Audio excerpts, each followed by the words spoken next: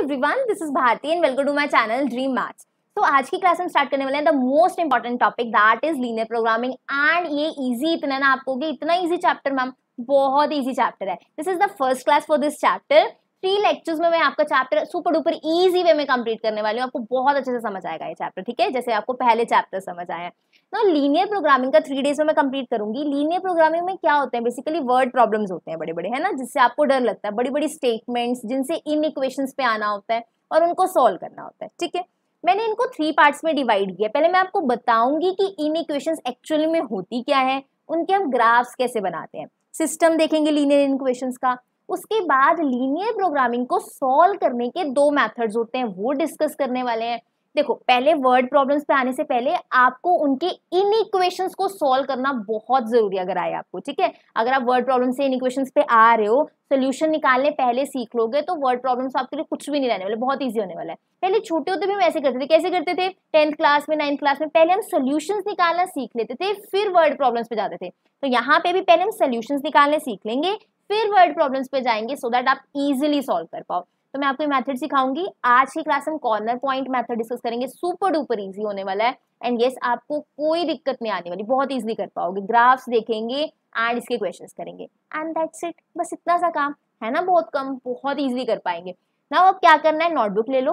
Pencil and scale आपके पास होना चाहिए क्योंकि आपने मेरे साथ ग्राफ बनाने हैं। ठीक है? चलिए फिर स्टार्ट करते हैं आज की क्लास बहुत सारी बातें होगी। मैंने आपको बता दिया थ्री डेज़ में कंप्लीट करना है तो बस करेंगे फिर। चलिए, फटाफट से स्टार्ट करते हैं। सबसे पहला टॉपिक जो आज की क्लास का है ना दैट इज़ चलो लीनियर प्रोग्रामिंग तो करना ही है, लेकिन उससे पहले छोटे छोटे टर्म्स हम देख लेते हैं। जैसे पहली टर्म है लीनियर इन इक्वेशंस लीनियर इन इक्वेशंस क्या होती है? बहुत सिंपल सी चीज़ है, देखो। छोटी क्लासेस हम करते थे x plus two is equals to four वहाँ पे कुछ भी ऐसे, वहाँ पे इक्वल का साइन होता था तो इसे इक्वेशन बोलते थे। क्या बोलते थे? इक्वेशन है ना? जहाँ पे इक्वल का साइन हो, उसे इक्वेशन बोलते हैं। लेकिन अगर यहाँ पे ग्रेटर का साइन लेस का sign greater than equal to का sign less than equal to का साइन ये सारे साइन आ जाए। इक्वल टू का साइन नहीं है लेस ग्रेटर इन सब के साइन आ जाए। इनको क्या बोलते हैं? लीनियर इन इक्वेशन क्या बोल देते हैं? इन इक्वेशन वैले से तो इक्वेशन था। जहाँ पे इक्वल टू आए इक्वेशन लेकिन इक्वल टू की जगह लेस देन ग्रेटर देन के साइन आए, वो इन इक्वेशन बन जाता है। बताओ, है कोई दिक्कत? समझ आई? चीज़ सारे हमने क्वेश्चन देखो यहाँ पे भी क्या है? ग्रेटर का साइन लेस का साइन इन्हीं से ही डील करना है। तभी तो इसका नाम क्या है? लीनियर इन इक्वेशन लीनियर क्यों है राजे? लीनियर इसलिए क्योंकि इसमें एक्स की पावर वन है। यहाँ पे भी पावर वन है। जितने भी एक्स वाई मिलने वाले सबकी पावर वन रहती है। जिनकी पावर वन रे वेरिएबल में, उन्हें लीनियर कहते हैं। इन इक्वेशन इसलिए क्योंकि यहाँ पे लेस ग्रेटर के साइन होते हैं। ठीक है? आप में से काफ़ी बच्चों को लेस ग्रेटर क्लियर होगा। जिनको नहीं क्लियर मैं याद करवा दू। जैसे थ्री लिखे three is greater than two जहाँ पे ये ओपन बना है ना दैट इज़ वो ग्रेटर वाली साइड है। थ्री टू से बड़ा है तो इसकी तरफ़ ओपन रहेगा। पढ़ेंगे कैसे? Three is greater than two समझ आ गई चीज़? एक और चीज़, जैसे मान लो टू है इज़ ग्रेटर देन वन तो टू वन से बड़ा है, इसके साइड क्या आएगा? ओपन आएगा। या फिर बोलो तो one less than two one की साइड क्या आ रहा है? क्लोज आ रहा है। तो वन लेस देन टू जो हमारे पास लेफ़्ट हैंड साइड लिखा है, उसको पहले बोलना है। वन फिर जो बीच में लिखा है लेस या ग्रेटर का साइन लेस देन टू जिसकी तरफ़ क्लोज होता है, वो लेस होता है। तो वन लेस देन टू समझ आई ये चीज़? बहुत इजी ना पढ़ना। X plus two less than four पहले लेफ़्ट हैंड साइड वाले को बोलो, फिर देखो इसकी तरफ़ ओपन है कि क्लोज्ड है? क्लोज्ड है ना इसकी तरफ़? देखो ये क्लोज्ड आ रहा है। ऐसे होता तो ओपन होता है, इसकी तरफ़ क्लोज्ड आ रहा है। तो x plus two less than four इसको ऐसे पढ़ते हैं वर्डिंग से डरना नहीं है। क्लियर है चीज़? अब x plus two less than और इक्वल टू फोर इसका मतलब है x प्लस टू फोर से छोटा है, या फिर फोर के इक्वल भी हो सकता है। इक्वल का मतलब यहाँ पे छोटा भी हो सकता है, या फिर इक्वल भी हो सकता है। तो लेस ग्रेटर की कोई दिक्कत हो नहीं। पढ़ना आ गया, मैं जब इक्वेशंस पढ़ूँगी, इन इक्वेशंस की x plus two less than four greater than four उससे डर तो नहीं लगेगा। पक्की बात तो यहाँ पे x plus two less than equal to four x plus two greater than four ऐसे इन सब चीज़ों को पढ़ा जाता है, मैं ऐसे पढ़ने वाली हूँ। इनको कहते हैं लीनियर इन इक्वेशन क्लियर है चीज़? चले आगे। नो नेक्स्ट इज़ अब इनके ग्राफ भी बनाने। इतना सारा काम हमने सिर्फ़ इनको पढ़ने के लिए नहीं, इनके ग्राफ्स बनाएँगे कैसे? मान लो आपको x plus four y greater than eight को ग्राफिकली रिप्रेजेंट करना है। क्या करना है? ग्राफिकली रिप्रेजेंट करना है। पहले हम एक एक इन इक्वेशन को सीखेंगे, फिर सिस्टम को सीखेंगे, फिर लीनियर प्रोग्रामिंग के क्वेश्चन पाएँगे। जैसे पहले किसी चैप्टर में दिक्कत नहीं आने दी, इसमें भी नहीं आने देंगे। चलो करते हैं साथ साथ अब x plus four greater than eight है। इसमें थ्री स्टेप्स लगाने कितने स्टेप्स लगाने हैं? थ्री स्टेप्स ध्यान से देखना। स्टेप नंबर वन पहला स्टेप क्या होता है? जो आपको इन इक्वेशन दी होती है ना, उसमें वो साइन हटा के आपने इक्वल टू का साइन लगाना है। ध्यान से समझते दो फ़र्स्ट पार्ट में बहुत आराम से समझा रही हूँ सेकेंड पार्ट जल्दी जल्दी करेंगे। ठीक है? ध्यान से समझो। कोई भी आपको एक इन इक्वेशन को चेंज करना ग्राफ बनाना, उसका तीन स्टेप्स लगते हैं। पहला स्टेप क्या है? आप उसका ये ग्रेटर लेस कोई भी साइन इसको हटा के इक्वल टू का साइन लिखो। Let x plus four y is equal to eight आगे देखो, आगे आप एक टेबल बनाओगे ऐसे, यहाँ पे ऐसे बॉक्सेस यहाँ पे देखो ध्यान से, यहाँ पे x लिखोगे, यहाँ पे y इसमें कोई दिक्कत, हर क्वेश्चन में ऐसे करना है। लीनियर प्रोग्रामिंग का क्वेश्चन कॉर्नर पॉइंट मेथड चाहे आइसो वाला मेथड सारे मेथड्स में यही स्टेप्स फॉलो होने हैं। इसको अंदर डाल लो। यहाँ पे लिखा x, यहाँ पे लिखा y x को डाल दो ज़ीरो एक बार। अगर मैं x को ज़ीरो डालूँगी zero plus four y eight four y is equals to eight y is equals to two x zero y two बन गया। इज़ इन इट सिंपल आगे देखो अब यहाँ पे एक बार x को ज़ीरो डाला, y को ज़ीरो डालो, इसी में y को ज़ीरो डालोगे, x plus four into zero is equals to eight x plus zero is equals to eight x की वैल्यू क्या आ गई? एट तो जब मैंने x को ज़ीरो डाला, y टू बन गया, y को ज़ीरो डाला, x एट बन गया, इसमें कोई दिक्कत। फ़र्स्ट स्टेप पे आपने यही करना है लेस देन के साइन हटा के इक्वल करना है और ये टेबल बनाना है। स्टेप वन क्लियर है तो बताओ फिर स्टेप टू पे चलते हैं। क्लियर है स्टेप वन चले आगे पक्का। Now step two step two में क्या करना है राजा? बहुत ईजी है। अब आपने इसका ग्राफ बनाना है। देखो यहाँ पे टू एट है, अब आप क्या करोगे? ग्राफ बनाओगे। आपके पास स्केल होगा प्रॉपर बना सकते हो। टू फोर सिक्स एट यहाँ पे बनाओगे टू फोर सिक्स एट यहाँ पे ज़ीरो ओरिजिन है। समझ आ गई थी स्टेप टू में हमें क्या बनाना होता है? ग्राफ बनाना होता है अकॉर्डिंग टू दिस टेबल इस टेबल के अकॉर्डिंग अब x ज़ीरो है, y टू पहले इसको देखते हैं, देखो। X zero y two x zero मतलब एक्स पे कुछ नहीं करना, सिर्फ़ वाई से काम लेना है। वाई पे टू बना देते हैं। बना दे वाई पे टू जल्दी से बना दो। यहाँ पे वाई पे हमने डॉट लगा दी टू क्योंकि एक्स ज़ीरो है तो सिर्फ़ वाई वाली लाइन पे ही टू लगने वाला है। समझ आ गई चीज़? अब आगे क्या है? एक्स एट वाई ज़ीरो तो एक्स एट है वाई तो कुछ है ही नहीं तो यहीं पे डॉट लग जाएगा। अब ध्यान से देखो, यहाँ पे क्या है? ग्रेटर का साइन है। ग्रेटर है। ग्रेटर देन इक्वल टू नहीं है। सिर्फ़ ग्रेटर है। अगर सिर्फ़ ग्रेटर हो लेस हो तो इन पॉइंट्स को डॉटेड लाइन से ज्वाइन करते हैं। किनसे डॉटेड लाइन से ज्वाइन करते हैं। आपने सिंपल ऐसी लाइन नहीं लगानी स्केल से। स्केल रख के डॉटेड लाइन लगानी है, क्योंकि यहाँ पे लेस ग्रेटर है इक्वल टू नहीं है इसके साथ। समझ आ गई? अगर इक्वल टू होगा तो हम लाइन डार्क पूरी ये वाली लगाते हैं। अगर लेस या ग्रेटर है, सिर्फ़ इक्वल का साइन नहीं है, फिर ये डॉटेड लाइन लगानी है। तो स्टेप टू का ग्राफ क्लियर है। मुझे बता दो स्टेप वन में इक्वेशन बनाई, उसके बाद उसका ग्राफ बनाया स्टेप थ्री पे चले स्टेप टू तक क्लियर है। स्टेप थ्री में आपने क्या करना है, बहुत ध्यान से देखना है बहुत ध्यान से। ये लाइन जा रही है ना, ये किसकी लाइन है? इसकी मतलब इक्वेशन बना के, x plus four y greater than eight इस पे लिख दो, x plus four y equal to eight ये लाइन किसकी है? इसकी इक्वेशन की लाइन है। ये यहाँ पे लिख देनी है, यहाँ पे एरो लगा देना ठीक है, अब ध्यान से समझो जो आपकी इन इक्वेशन होती है स्टेप थ्री में वो आपने इन इक्वेशन नोट करनी है। कर ली। एक्स की जगह ज़ीरो डालो वाई की जगह ज़ीरो डालो। Greater than eight zero greater than eight क्या ज़ीरो एट से बड़ा है? ज़ीरो एट से बड़ा नहीं ना, ये क्या है? फोल्स आ गया। तो इसकी जो शेडिंग है, वो इस तरफ़ होगी। ज़ीरो ज़ीरो की तरफ़ नहीं होती। ग्राफ का बताओ ज़ीरो ज़ीरो कहाँ है? ग्राफ का ज़ीरो ज़ीरो ये वाला पॉइंट है। अब इसमें मैंने अगर ज़ीरो ज़ीरो डाला ज़ीरो एट से बड़ा आ रहा है। ये चीज़ ट्रू नहीं है फॉल्स है। तो जिसकी शेडिंग होगी वो भी ओरिजिन की तरफ़ नहीं होगी ओरिजिन से उधर होगी। तो इसलिए इसकी शेडिंग इधर हुई है। And this is the proper graph इसका ग्राफिकली सोल्यूशन ये है। इसमें कोई दिक्कत, मैंने बहुत आराम आराम से एक एक पॉइंट बताया आई होप आपको क्लियर है।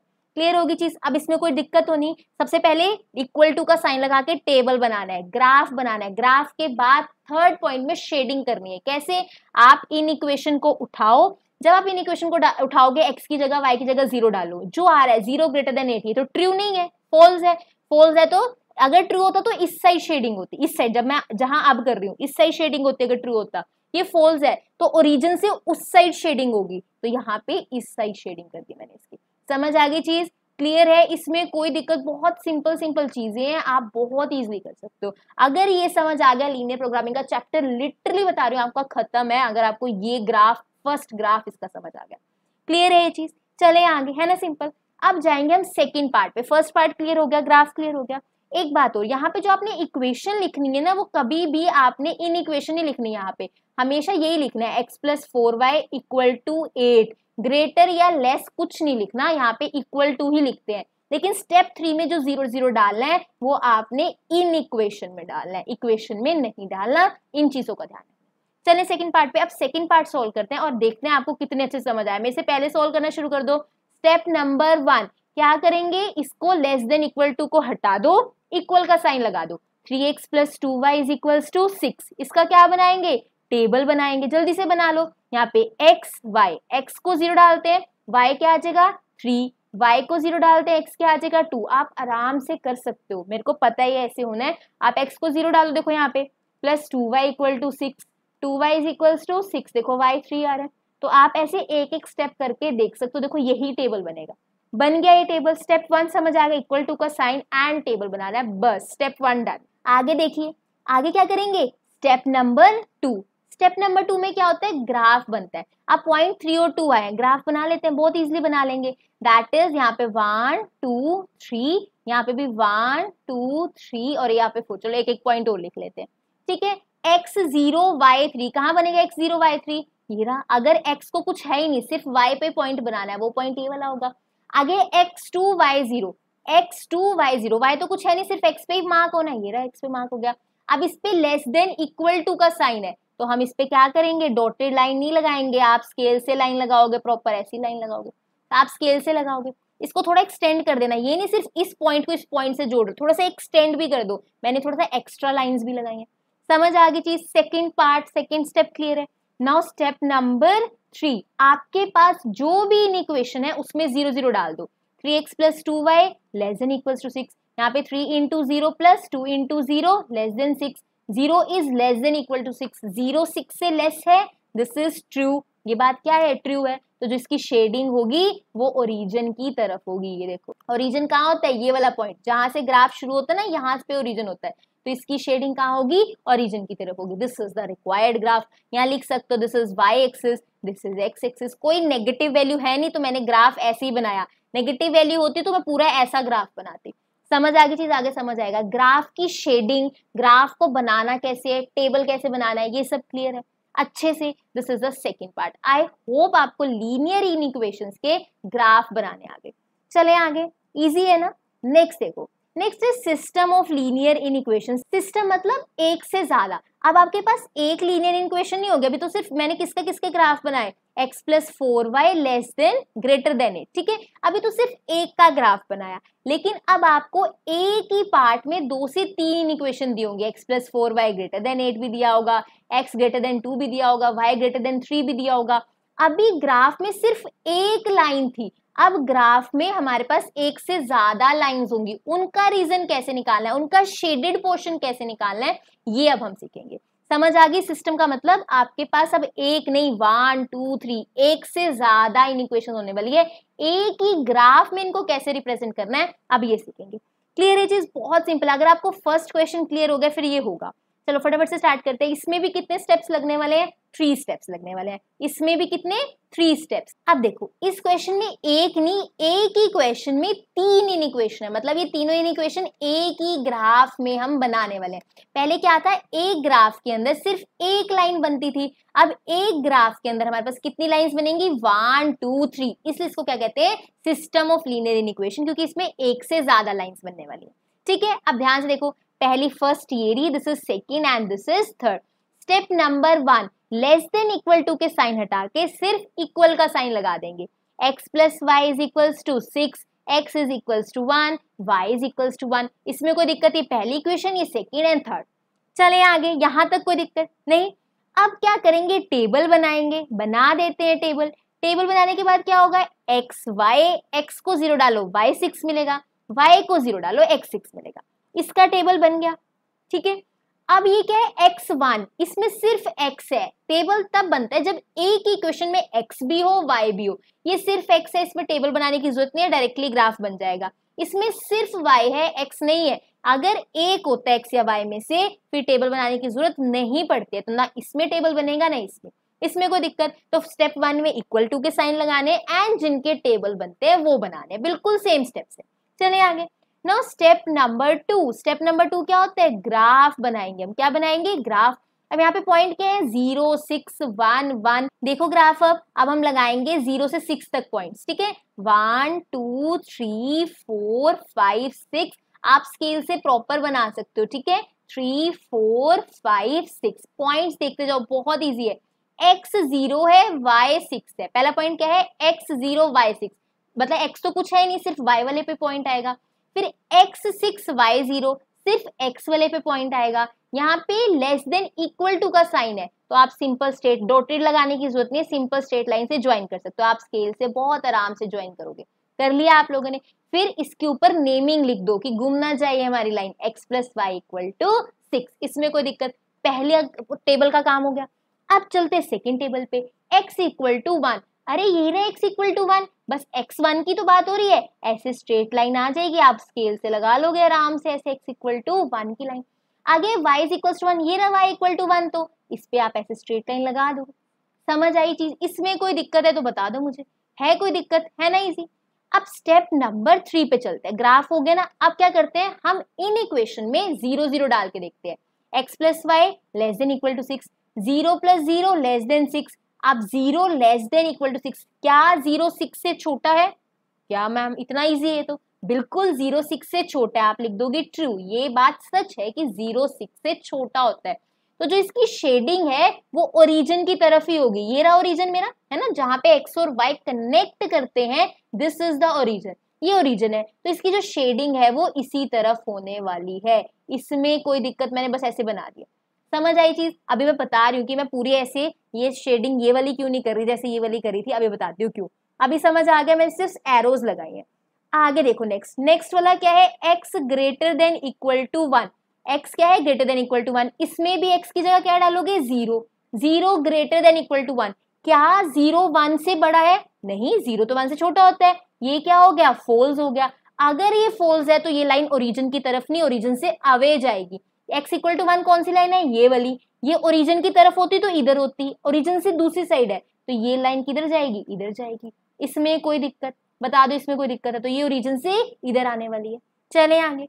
Next is last y greater than equal to one y की जगह ज़ीरो डाल दो। Zero greater than equal to one क्या ज़ीरो वन से बड़ा है? नहीं, ये भी फॉल्स होता है। आपने हमेशा थर्ड स्टेप में एक्स वाई की जगह ज़ीरो डाल के देखना होता है। तो यहाँ पे zero greater than equal to one ये फॉल्स है। ये ओरिजिन की तरफ़ नहीं आएगी। ये रही लाइन ओरिजिन की तरफ़ नहीं, उससे आवे जा रही है। ये लाइन भी कहाँ जाएगी? इधर जाएगी। समझ आ गई चीज़? अब एक ऐसा एरिया बताओ, जहाँ सारी लाइंस आ रही है। देखो, यहाँ देखो, इस एरिया में ये वाली लाइन भी अपनी शेडिंग दे रही है, इस एरिया में ये वाली लाइन भी अपनी शेडिंग दे रही है एंड ये वाली लाइन भी अपनी शेडिंग दे रही है। तो ये जो हमारे पास एरिया बना है this is the common region ये हमारा कॉमन रीजन है दिस इज़ द सोल्यूशन यही सोल्यूशन है। समझ आई चीज़? जहाँ पे ऐसा रीजन जहाँ पे सारी लाइंस आ रही इधर से भी आ रही, इधर से भी, इधर से भी। तो this is the solution of this system of linear equation ये चीज़ समझ आई? है कोई दिक्कत? बहुत सिंपल है। उस रीजन में मैंने शेडिंग करी जहाँ पे सब अपना रीजन कुछ ना कुछ अपनी शेडिंग वहाँ पे दे रहे हैं। ये इनका कॉमन रीजन है। समझ आ रही चीज़? जब आप ग्राफ्स बनाओगे, आपको क्लियर होंगी ये चीज़ें। ये इसका आंसर है। अब एक चीज़ बहुत ध्यान से आराम से समझो। मान लो मेरे पास ये सिंपल सा ग्राफ है मैंने ये दो तीन लाइंस बना दी। आ, ये लो ठीक है? अब ध्यान से देखना बहुत आराम से चीज़ें क्लियर कर रही हूँ बहुत अच्छे से क्लियर होंगे। मान लो इसकी शेडिंग इस तरफ़ है ठीक है? हाँ जी ठीक है इस तरफ़ इसकी शेडिंग है मान लो ये रही इसकी शेडिंग अब आगे ध्यान से देखना पूरी लाइन पे कर दी मैंने। अब इसकी शेडिंग कहाँ है? ऊपर की तरफ़ है मान लो ये लो ऊपर की तरफ़ कर दी। ठीक है? अब इसकी शेडिंग भी कहाँ है? मान लो ऊपर की तरफ़ है ये लो इसकी भी ऊपर की तरफ़ कर दी। कर दी ना मैंने ऊपर की तरफ़? अब ऐसा कौन सा रीजन है जहाँ पे सबकी शेडिंग आ रही है? अब आपके पास इसमें बहुत सारे रीजन है, बहुत सारे देखो। ये वाला रीजन तो कुछ मान नहीं सकते क्योंकि इसमें सिर्फ़ एक की शेडिंग आ रही है, इसकी तो नहीं आ रही तो ये रीजन नहीं हो सकता। अब इस रीजन की बात करो, इसमें इस लाइन की तो शेडिंग आ रही है, पर इस वाली लाइन की शेडिंग नहीं आ रही तो ये वाला रीजन नहीं है।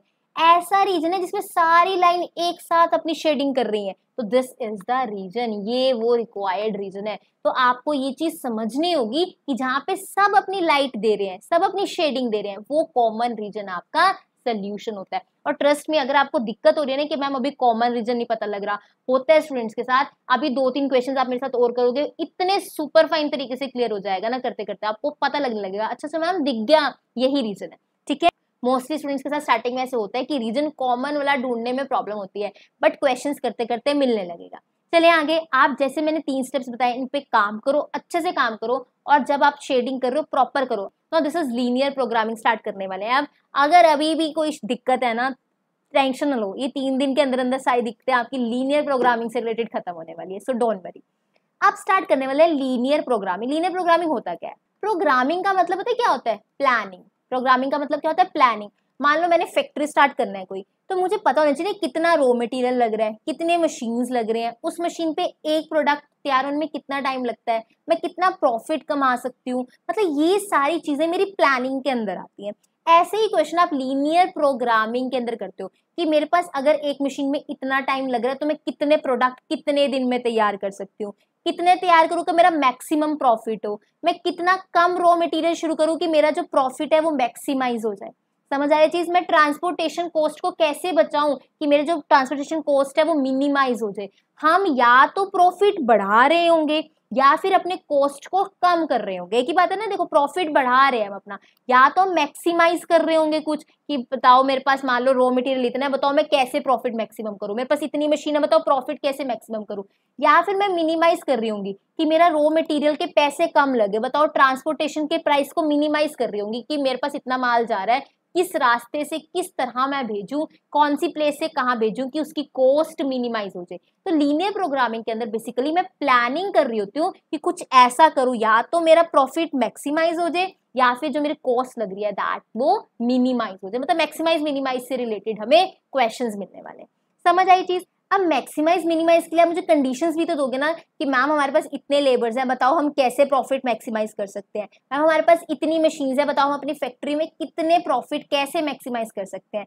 तो जो मशीन्स हैं, ये जो लेबर्स हैं, ये मेरे पास रिस्ट्रिक्शंस है। क्या है? कंस्ट्रेंट्स है मेरे पास। कंस्ट्रेंट्स का मतलब जिनके अकॉर्डिंग मैं काम करने वाली हूँ। कंस्ट्रेंट्स का मतलब क्या होता है? जिनके अकॉर्डिंग मैं काम करने वाली हूँ। कि मैम इतने लेबर्स हैं, बताओ, इतने लेबर से आप कितना काम करवा सकते हो? तो वो लेबर्स कंस्ट्रेंट की तरह यूज़ होंगे कि मैं दस से ज़्यादा लेबर यूज़ नहीं कर सकती तो ये कंस्ट्रेंट हो गया।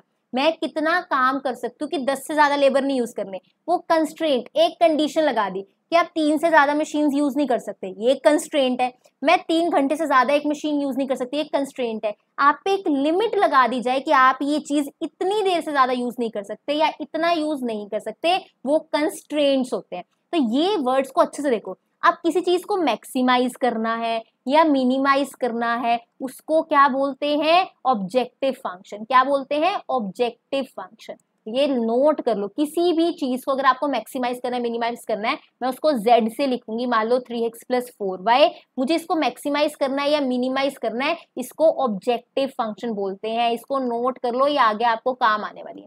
समझ आ गई चीज़? जो कंस्ट्रेंट्स लगेंगे कि 10 से ज़्यादा लोग नहीं हो सकते, मान लो x प्लस वाई दस से ज़्यादा नहीं हो सकते, x प्लस वाई दस से कम होने चाहिए लेबर्स तो ये क्या है? ये कंस्ट्रेंट्स है। ये क्या है? कंस्ट्रेंट्स है। बस ये दो चीज़ें ऑब्जेक्टिव फ़ंक्शन या कंस्ट्रेंट्स ये दोनों आपको पता होने चाहिए। ठीक है? ऑब्जेक्टिव फ़ंक्शन जिस चीज़ को हमें प्रॉफिट को मैक्सिमाइज करना है, वो ऑब्जेक्टिव फ़ंक्शन होता है। वो हमेशा इस तरह का होगा। Three x plus four y equation की फॉर्म का होगा। Z is equal to three x plus four y इसको मैं हमेशा ऑब्जेक्टिव फ़ंक्शन कह रही होंगी। एंड जो ये less than equal to inequation होंगी, वो जब हम लीनियर प्रोग्रामिंग के अंदर आएँगे, इन इन इक्वेशन को हम कंस्ट्रेंट्स बोलेंगे। क्या बोलेंगे? कंस्ट्रेंट्स की कोई आप पे रिस्ट्रिक्शन लग रही है। ये दो चीज़ें क्लियर है। लीनियर प्रोग्रामिंग के क्वेश्चन वर्ड प्रॉब्लम्स एकदम अच्छे से उड़ाने वाले हैं। हम हम क्वेश्चंस इतने इजीली कर पाएँगे। लेकिन उससे पहले आज हम सोल्यूशंस निकालने सीखते हैं। समझ आगे चीज़? तीन दिन के अंदर अंदर पूरा चैप्टर खत्म करेंगे। आगे देखो। सोल्यूशन देखो, पहले हम छोटी क्लासेस से क्या करते आ रहे हैं? पहले हम वर्ड प्रॉब्लम्स पे नहीं जाते बड़ी बड़ी स्टेटमेंट्स पे नहीं जाते। पहले हम उन इक्वेशंस को, इन सिस्टम को सॉल्व करना सीख लेते हैं। एक बार सॉल्व करना सीख लेंगे अच्छे से। फिर वर्ड प्रॉब्लम्स पे जाएँगे, वहाँ हम बहुत इजीली क्वेश्चन कर पाएँगे। ठीक है? अब इन सिस्टम को सॉल्व करने के दो मेथड होते हैं corner point method and iso profit iso cost method main जो है ना कॉर्नर पॉइंट मेथड है। आइसो प्रॉफिट कोस्ट मेथड भी है, लेकिन मेन जो आपको बहुत अच्छे से करना है, वो है कॉर्नर पॉइंट मेथड जो मैं आज की क्लास में डिस्कस करने वाली हूँ। ठीक है? कॉर्नर पॉइंट मेथड बहुत सिंपल है, बहुत सिंपल इसमें देखो स्टेप वन सेम रहेगा, जो अभी तक हम सीख के आए। स्टेप टू भी एज इट इज़ सेम रहने वाला है। एंड स्टेप थ्री भी, जो अभी तक हम करते आए हैं, सिर्फ़ एक स्टेप और ऐड होगा, एक एक्स्ट्रा स्टेप जो मैं भी आपको बताऊँगी टोटल कॉर्नर पॉइंट मेथड में चार स्टेप्स होते हैं। कितने स्टेप्स हैं? फोर फ़र्स्ट थ्री तो वही है जो अभी तक हम तीन क्वेश्चंस करके आए हैं। बिल्कुल सेम स्टेप वन में हम इक्वेशन बना के टेबल बनाते हैं, स्टेप टू में ग्राफ बनाते हैं, स्टेप थ्री में ज़ीरो ज़ीरो डाल के चेक करते हैं। बस एक स्टेप फोर हमारा एक्स्ट्रा होने वाला है कॉर्नर पॉइंट मेथड के अंदर, वो मैं आपको समझाऊँगी। जो कॉर्नर पॉइंट आपको दिख रहा है ना, हम कॉर्नर पॉइंट ढूंढेंगे स्टेप फोर के अंदर। अभी देखते हैं। करें start question take out your notebook साथ साथ करना। अगर ये अच्छे समझ लिया linear programming done linear programming आपको अच्छे से समझ आ जाएगा। अभी तक हम सिर्फ़ इन इक्वेशंस के ग्राफ बना रहे थे। अब मैक्सिमाइज करेंगे, कुछ मिनिमाइज करेंगे। Maximize z equal to three x plus four y ये क्या होता है? ऑब्जेक्टिव फ़ंक्शन अभी मैंने बताया तो अब हर क्वेश्चन में आपको एक z मिलने वाला है, क्योंकि कॉर्नर पॉइंट मेथड कर रहे हैं। आपको किसी ना किसी चीज़ को मैक्सिमाइज मिनिमाइज करना होगा। तो ये जो z इक्वल टू होता है, इसको ऑब्जेक्टिव फ़ंक्शन बोलते हैं।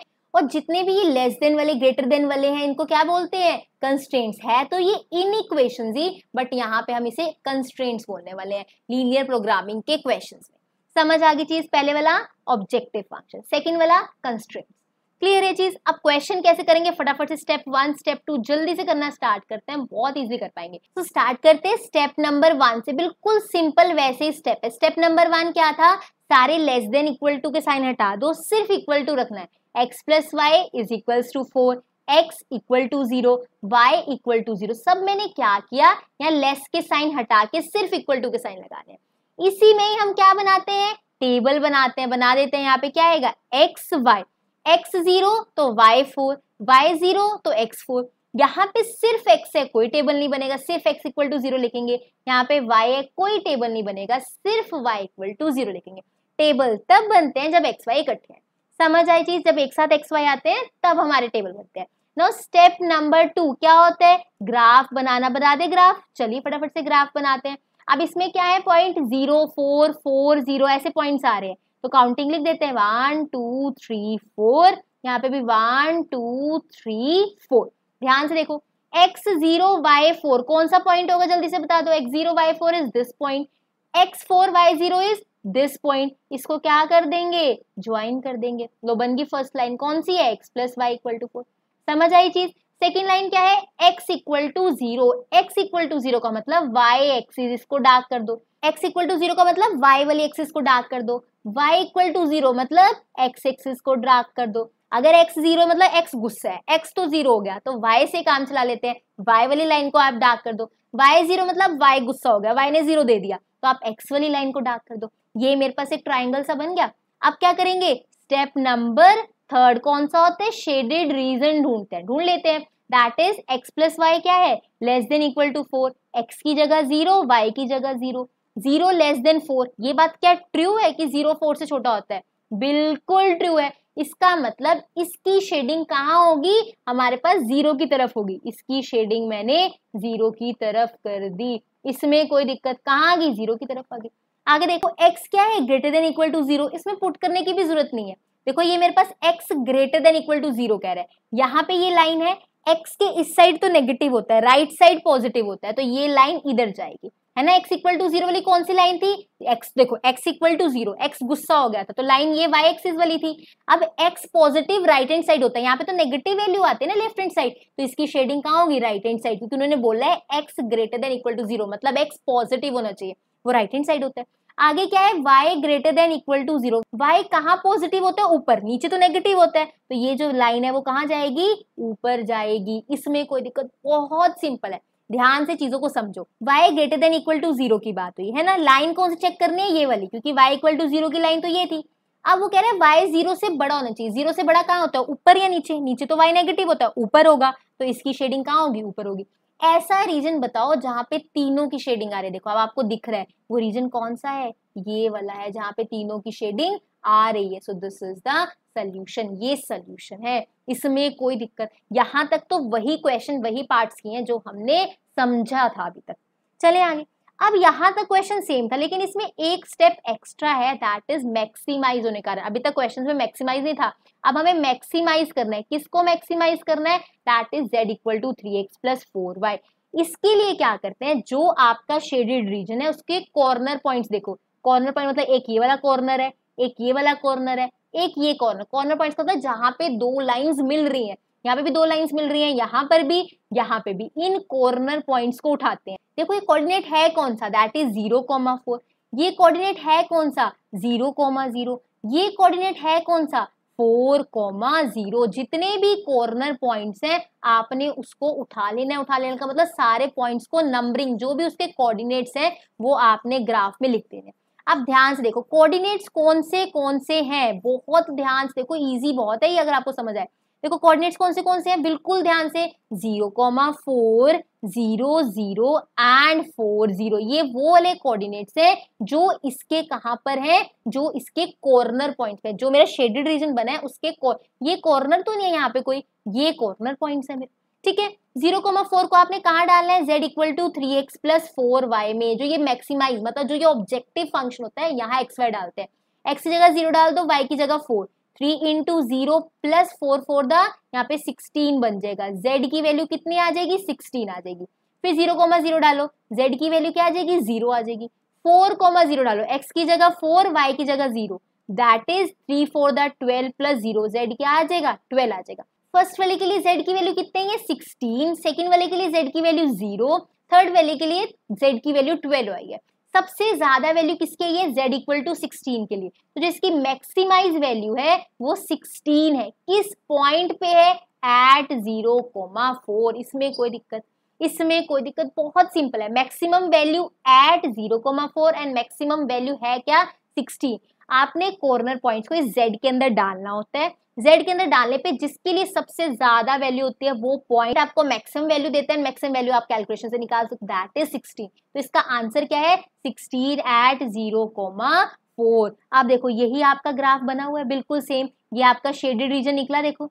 ये शेडेड रीजन निकला। आपने ज़ीरो कोमा ज़ीरो डाला फोर कोमा ज़ीरो डाला, ये ज़ीरो कोमा फोर डाला। ये आपका मैक्सिमम कितने में मिला? सिक्सटीन पे। तो आपका मैक्सिमम क्या है? मैक्सिमम वैल्यू कितनी है? सिक्सटीन है। कितने पे? एट ज़ीरो कॉमा फोर ये आपका आंसर है। ये देखो कॉर्नर पॉइंट्स इसको क्या बोलते हैं? इसको फिजिबल रीजन बोलते हैं। इसको क्या बोला जाता है? फिजिबल रीजन बोला जाता है। जो आप शेडिंग करके निकालते हो that is the feasible reason जो जेड होता है, वो ऑब्जेक्टिव फ़ंक्शन होता है। मैं ऑलरेडी बता चुकी हूँ और कंस्ट्रेंट्स भी बता चुकी हूँ। मैं बिल्कुल एक साथ नहीं छोटी छोटी आपको चीज़ें बताती जा रही हूँ क्वेश्चन में। ये feasible region objective function constraint ये आपका क्वेश्चन खत्म है। Maximum value sixteen at zero comma four clear है चीज़ अच्छे से, पक्का, बहुत ईजी है। हाँ जी नेक्स्ट देखो नेक्स्ट इज़ मिनिमाइज इसको मिनिमाइज करना है एंड ये कंस्ट्रेंट्स दे रखे पहले क्या किया था? मैक्सिमाइज अब क्या करेंगे? मिनिमाइज बिल्कुल सेम स्टेप्स है, ध्यान से देखना। स्टेप नंबर वन में से पहले करो फटाफट से। That is x plus three y is equals to three x plus y is equals to two यहाँ पे एक्स वाई इकट्ठा दे दिया। कि x y greater than equal to zero इसका मतलब एक्स भी greater than equal to zero है वाई भी greater than equal to zero उन्होंने टाइम बचाने के लिए कॉमा लगा के साथ साथ लिख दिया। तो ये आएगा x equal to zero y equal to zero ये चीज़ क्लियर है? पहले सारे लेस देन इक्वल सारे साइन हटा के इक्वल के साइन लगा लो। सेकेंड स्टेप में टेबल बनाएँगे, बिल्कुल बनाएँगे। दैट इज़ एक्स ज़ीरो करेंगे तो वाई क्या आ जाएगा? वन आ जाएगा। वाई को ज़ीरो करेंगे एक्स क्या आ जाएगा? थ्री आ जाएगा। ये फ़र्स्ट इक्वेशन का टेबल हो गया। अब सेकेंड इक्वेशन का टेबल बनाएँगे। देखो ध्यान से एक्स को ज़ीरो करो वाई टू वाई को ज़ीरो करो x two this is a table for the second equation now third और फोर्थ के लिए कोई टेबल नहीं बनेगा। Now let's move to second step किस पे चलते हैं? सेकेंड स्टेप पे। इस पे ग्राफ बनाएँगे। वन टू थ्री पॉइंट्स दिख रहे हैं। तो one two three four one two three four आप ग्राफ बनाते बताओ इसमें कुछ टफ लग रहा है? बिल्कुल बच्चों वाला गेम है। एक्स ज़ीरो वाई वन ये वाला point x three y zero ये वाला पॉइंट कर दो ज्वाइन इनको। कर दो ज्वाइन इनको जल्दी से। आ, ये लो आप स्केल से करना ठीक है? मैं तो अब यहाँ पे ऐसे ही कर रही हूँ। तो दिस इज़ द फ़र्स्ट इस पे इक्वेशन लिख दो। X plus three y equal to three इसमें कोई दिक्कत सेकेंड देखो एक्स टू वाई ज़ीरो और ये रहा यहाँ पे। तो इसको क्या कर दो? ज्वाइन कर दो। ये हमारी क्या आ गई? सेकेंड इक्वेशन आ गई। This is the x plus y is equals to two आगे देखो एक्स इक्वल टू ज़ीरो का मतलब वाई एक्सिस ये लो इसको डार्क कर दो। वाई इक्वल टू ज़ीरो का मतलब एक्स एक्सिस लो इसको डार्क कर दो। लाइंस बन गई सारी। स्टेप नंबर टू क्लियर है सबको अच्छे से। अब चलते हैं स्टेप नंबर थ्री पे। स्टेप नंबर थ्री पे क्या करते हैं? ज़ीरो ज़ीरो डाल के देखते हैं इन इक्वेशन में। X plus three y greater than equal to three डाल लो zero plus zero greater than three zero three से बड़ा है। क्या ये चीज़ ट्रू है? नहीं, ये तो फॉल्स है। ज़ीरो थ्री से बड़ा नहीं होता। मतलब ये जो फ़र्स्ट लाइन है, ये वाली ओरिजिन की तरफ़ नहीं ओरिजिन से उधर जाने वाली है। तो जो इसकी शेडिंग है, वो इस तरफ़ होगी। ये चीज़ समझ आ रही है? बहुत आराम आराम से चीज़ें कर रहे हैं। इतनी जल्दी नहीं है। आप पहले कितने सारे ग्राफ्स बना चुके हैं आप, ठीक है? अब सेकंड पे चलते हैं। सेकंड ये रहा, हमारे पास x plus y greater than equal to two यहाँ पे भी ज़ीरो डाल दो। Zero greater than equal to two आ गया। मतलब ज़ीरो टू से बड़ा है। ये तो गलत है ज़ीरो तो टू से छोटा होता है। ये भी क्या हो गया? फोल्स हो गया। ये भी ओरिजिन से अवे जाएगा। तो ओरिजिन से अवे मतलब ये वाली लाइन समझ आई चीज़? ये मैंने शेडिंग कर दी, लो। चले आगे। नो नेक्स्ट देखो। X इक्वल टू ज़ीरो की कौन सी लाइन है? ये वाली लाइन है है ना? ये वाली लाइन इसमें क्या लिखा है? X greater than equal to zero x equal to zero की लाइन तो यही है, लेकिन दिया क्या हुआ है? X greater than equal to zero मतलब x पॉजिटिव होना चाहिए। वो राइट हैंड साइड होता है। तो इसकी शेडिंग किधर होगी? इधर ही होगी। समझ आई चीज़? आगे क्या था? y equal to zero y equal to zero की लाइन कौन सी है? ये वाली। अब यहाँ पे दिया क्या होता है? एक्चुअली तो दिया हुआ था y greater than equal to zero y greater than equal to zero होता कहाँ है? ऊपर की साइड y नीचे नेगेटिव होता है। ऊपर पॉजिटिव होता है। तो इसकी शेडिंग कहाँ जाएगी? ऊपर जाएगी। अब इसमें से बताओ, ऐसा रीजन जहाँ पे सबकी शेडिंग आ रही है। ऐसा रीजन जहाँ पे सबकी शेडिंग आ रही है। मुझे बताओ, वो रीजन ये नहीं है जो मैं अब डार्क करूँ देखो, ध्यान से देखो, जो मैंने व्हाइट से अब डार्क की है, ये वाला लाइन ये वाली फॉर्म ये सारी वही देखो, ये यही नहीं बना वो रीजन जिसमें सबकी आ रही है। अब जो मैं ब्लैक से मार्क कर रही हूँ ना, ये वो रीजन है जहाँ पे सबकी लाइंस आ रही है। देखो ये वाला ये वाला जो मैंने ब्लैक से मार्क की है। तो this region is the region जहाँ पे सबकी शेडिंग आ रही है। देखो यहाँ पे सबकी शेडिंग हमारे पास आने वाली है। तो दिस इज़ द रीजन ज़रूरी नहीं आपको एक बॉक्स मिलने वाला है हर बार ऐसा कि जहाँ पे शेडिंग हो रहा है। आपको ऐसा भी मिल सकता है कि बाहर की तरफ़ ओपन बिल्कुल बाउंडेड नहीं है। समझ आई चीज़? हमेशा ग्राफ बंद नहीं आएगा। देखो यहाँ पे हमेशा क्या है? यहाँ पे ग्राफ किस तरह का है? ओपन टाइप का है। देखो यहाँ पे ग्राफ इनका भी ऐसा बना है। देखो ओपन टाइप का ही सारा। तो हर बार ग्राफ आपको उस फॉर्म का नहीं मिलने वाला। कभी आपको ऐसे बंद में मिलेगा मतलब कोई ट्राइंगल कुछ, या फिर ऐसे ओपन में भी मिल सकता है कि यहाँ से देखो ये भी हमारा भी यही ऐसे ऐसे रीजन बना है है ना? यही इनका बना है। अब फोर्थ स्टेप में क्या करते थे? इनके कॉर्नर पॉइंट्स उठाते थे। कॉर्नर पॉइंट्स कौन से? ध्यान से देखो, एक ये वाला कॉर्नर पॉइंट है एक ये वाला corner point this one corner point कितने कॉर्नर पॉइंट है? तीन। यहाँ पे टेबल में भी देखो कितने कॉर्नर पॉइंट लिखे हुए हैं? तीन। चाहे ओपन रीजन बने, चाहे कैसा, आपने देखना है वो वाले पॉइंट जहाँ पे दो लाइंस कट कर रही हैं। यहाँ पे ये दो लाइंस कट कर रही हैं। तो ये क्या है इनके? कॉर्नर पॉइंट अब ध्यान समझो, ये कॉर्नर पॉइंट तो इजिली निकल जाएगा। That is zero comma two ये कॉर्नर पॉइंट भी इजिली निकल जाएगा. That is three comma zero दिक्कत किस पॉइंट की? इस कॉर्नर पॉइंट की. ये कॉर्नर पॉइंट निकालना ध्यान से देखो. ये वाला भी निकल जाएगा एक्सिस पे. है ये वाला भी निकल जाएगा एक्सिस पे. इस कॉर्नर पॉइंट को ध्यान से देखना है. ये कॉर्नर पॉइंट कैसे निकलेगा? इस कॉर्नर पॉइंट के लिए हमें ये देखना पड़ेगा कि ये किन दो लाइन को कट करने से बना है. ये कॉर्नर पॉइंट हमारे पास इन दो लाइन को कट करने से बना है. X plus three y equal to three x plus y equal to two वो जो कॉर्नर पॉइंट कैसे बना है? इन दो लाइन को जहाँ पे ये दोनों मिल रही है ना, वहाँ पे वो कॉर्नर पॉइंट बना है। तो आपको इन्हें सोल्व करके इनकी एक्स वाई की वैल्यू निकालनी पड़ेगी। जैसे मेरे को दे रखा है x plus three y equal to three x plus y equal to two इनके साइन चेंज कर दो। कर दो यहाँ पे प्लस है तो माइनस ऊपर कुछ नहीं है तो क्या कर दो? माइनस साइन चेंज करने होते हैं। अब देखो ये प्लस का ये माइनस का। कैंसिल हो गया। प्लस का ये माइनस का? Plus, minus minus. थ्री में से वन गया, टू वाई आ जाएगा। ये बीच वाले साइन नहीं देखने होते, साइन चेंज करने के बाद। ये प्लस का ये माइनस का? थ्री में से टू गए, वन। वाई की वैल्यू क्या बन गई? One by two. ये इधर मल्टीप्लाई होता है इधर आगे क्या हो गया? डिवाइड तो वाई की वैल्यू क्या मिल गई? One by two. कोई भी दो इक्वेशन को सोल्व करके हम एक्स वाई की वैल्यू निकाल सकते हैं। आप फ़र्स्ट इक्वेशन में डाल दो। एक्स प्लस थ्री वाई क्या था? थ्री था। यहाँ पे आप वाई की जगह वन बाई टू डाल दो। मिल जाएगा यहाँ पे। that is x is equals to 3 by 2 sorry plus 3 by 2 equal to 3 3 by 2 then minus kar do x is equals to 3 minus 3 by 2 that will be 3 by 2 मतलब y 1 by 2 आया और x 3 by समझ आई चीज़? मतलब कोई भी दो equation solve करके आप एक्स वाई निकाल सकते हो। अब यही दो लाइंस की इक्वेशन एक दूसरे को कट कर रही थी तो वो पॉइंट निकालने के लिए हमने इन दोनों को सोल्व किया। एक्स क्या आया? थ्री बाय टू देखो यहाँ पे पॉइंट क्या ले रखा है? थ्री बाय टू वाई क्या आया? वन बाय टू तभी यहाँ पे जो एक पॉइंट है, वो three by two and one by two लिया गया।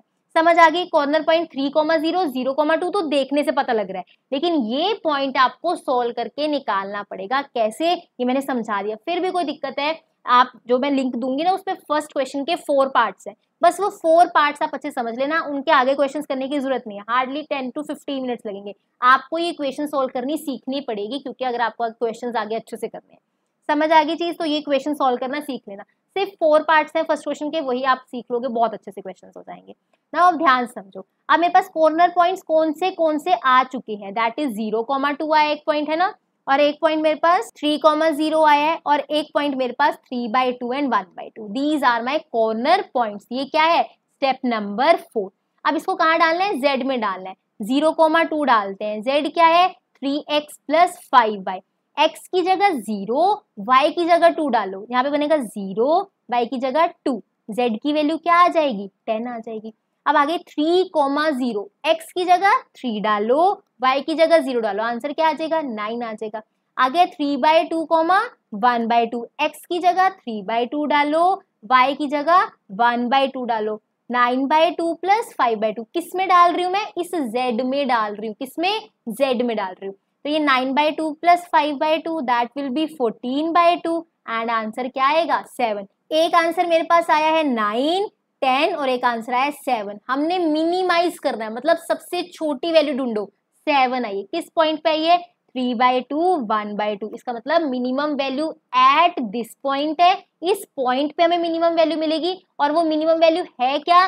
सेवन तो सेवन वो मिनिमम वैल्यू है और इस पॉइंट पे मिल रही है, ये हमारा आंसर है। तो आपको ये सीखना पड़ेगा। देखो यहाँ पे लिखा हुआ है स्मॉलेस्ट वैल्यू तो आपको ये वैल्यूज़ निकालनी, सीखनी पड़ेंगी प्रैक्टिस करनी पड़ेंगी, पर टफ नहीं है। आराम से समझ सकते हो। तो चलते हैं नेक्स्ट क्वेश्चन के ऊपर।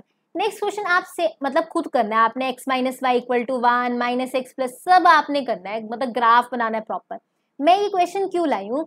ऐसा भी हो सकता है। देखो यहाँ पे इसका शेडेड रीजन इधर है इसका शेडेड रीजन इधर आया है। मतलब कोई भी इसका कॉमन रीजन नहीं आ रहा। कोई भी इसका कॉमन रीजन नहीं आ रहा। तो नो फिजिबल रीजन तो जेड के पास कोई भी मैक्सिमम वैल्यू या वो कोई पूछ रहा है मैक्सिमम या मिनिमम वो नहीं मिलेगी। तभी आपको मैक्सिमम या मिनिमम वैल्यू मिल सकती है जब आपके पास कॉमन रीजन हो। जब आप इसका ग्राफ बनाओगे इक्वेशंस का, आप देखोगे इसमें कॉमन रीजन मिल ही नहीं रहा। तो no feasible region no maximum minimum value बात खत्म। समझ आ गई चीज़? यहाँ तक क्लियर है। अच्छा एक चीज़ और। मान लो आप कोई ग्राफ बना रहे हो, ठीक है? आप लाइंस बनाते हो, उसमें ज़ीरो ज़ीरो डाल के चेक करते हो ट्रू है कि नहीं है, ये मैंने समझा दिया। लेकिन मानो आपकी कोई लाइन ओरिजिन से ही पास कर रही है, ठीक है? और आपको चेक करना है, अब ये ऊपर की साइड है कि नीचे की साइड है? कोई लाइन आपकी ओरिजिन से ही पास कर रही है। आप पहले तो आप ये चेक करते हैं ना ज़ीरो ज़ीरो डाल के कि ओरिजिन की तरफ़ है कि उधर है। लेकिन जो लाइन खुद ओरिजिन से पास कर रही है, उसमें आप ज़ीरो ज़ीरो डाल के उसे चेक नहीं कर सकते। उसको आपको कैसे चेक करना है? मान लो वन टू इधर है, यहाँ पे वन टू इधर है। आप क्या करोगे? यहाँ माइनस वन है, ठीक है? और यहाँ पे भी माइनस वन है। आप क्या करोगे? अब इस लाइन को आपको चेक करना है। ये इस साइड जाती है कि इस साइड जाती है? आपने क्या करना है? यहाँ के दो पॉइंट उठाने हैं इस साइड के। तो इस सिचुएशन में आप क्या करने वाले बहुत सिंपल सी चीज़ है। मान लो मुझे चेक करना है शेडिंग इधर है कि नहीं है? आप यहाँ इस साइड के दो पॉइंट उठा लो। एक मैं वाई से वन उठा लेती हूँ एक्स से माइनस वन उठा लेती हूँ। एक्स क्या उठा रही हूँ? माइनस वन वाई को क्या उठाया? वन आप अपनी इन इक्वेशन में डाल के देखो। मान लो एक्स प्लस वाई यही वजह उठा लेते हैं। मान लो x प्लस वाई मेरे पास है minus x plus y less than zero है, ठीक है? इसमें डालो, x की जगह माइनस वन डालो वाई की जगह वन डालो, या माइनस वन माइनस ये plus one plus one less than two less than zero two less than zero क्या टू ज़ीरो से छोटा है? नहीं ना तो ये फॉल्स है तो इसकी शेडिंग इस साइड नहीं इस साइड होगी। तो ज़रूरी नहीं है, अगर कोई लाइन आपकी खुद ज़ीरो ज़ीरो से पास कर रही है और रीजन से पास कर रही है, फिर आप उसको ज़ीरो ज़ीरो डाल के पॉइंट नहीं चेक कर सकते कि वो किस तरफ़ उसकी शेडिंग होनी है। तो आप क्या करोगे, जैसे मैंने यहाँ से लाइन की इस तरफ़ से दो पॉइंट उठा लिए, एक एक्स का और एक वाई का, वो पॉइंट आप अपनी इन इक्वेशन में डालो। अगर वो डालने से ट्रू होता है तो उसी साइड शेडिंग होगी, नहीं तो अपोजिट साइड शेडिंग होगी। जैसे मैंने ये माइनस वन, जैसे मैंने ये वन और माइनस वन डाला, देखो, एक्स माइनस वन वन डाला तो ये फोल्स आ रहा है। फोल्स आ रहे हैं तो शेडिंग इसकी इस साइड नहीं, मैंने इस साइड कर दी। आप ऐसे भी शेडिंग करते हो। समझ आ गई? वैसे ऑलमोस्ट ज़्यादातर टाइम हम ज़ीरो ज़ीरो डाल के चेक करते हैं, लेकिन जो लाइन खुद ज़ीरो ज़ीरो से पास हो रही है, उसको हम ज़ीरो ज़ीरो डाल के नहीं, यहाँ के कोई दो पॉइंट डाल के चेक कर लेते हैं। ठीक है? आई होप आपको अच्छे समझ आया। नेक्स्ट क्लास में मैं बहुत सारे क्वेश्चंस और लाऊँगी लीनियर प्रोग्रामिंग के आइसो प्रॉफिट मेथड में भी आप इन क्वेश्चंस की भी साथ साथ प्रैक्टिस कर पाओगे। एंड फिर एक क्लास हम वर्ड प्रॉब्लम्स की करेंगे। Chapter done I hope you like this video. If you like this video, do like, share, comment and subscribe to my channel which is Dreamers. Thank you so much for watching.